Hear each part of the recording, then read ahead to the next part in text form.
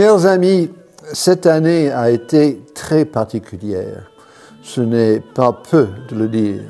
Notre ensemble, les Arts Florissants, et avec lui notre fondation, a connu et connaît encore des moments difficiles. Mais nous avons pu compter sur vous, artistes, partenaires, salles de spectacle et bien sûr public. Tout au long de l'année, nous avons ressenti votre soutien indéfectible.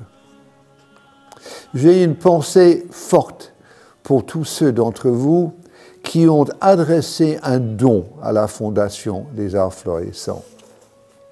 Quel que soit le montant de votre don, il nous va directement au cœur.